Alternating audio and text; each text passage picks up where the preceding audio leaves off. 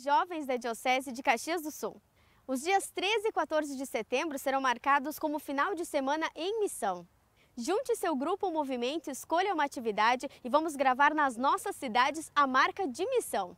Não esqueçam de nos contar o que estão planejando e como vai ser para podermos divulgar e mostrar a cara da nossa juventude católica. Afinal, seguimos sempre juntos em missão.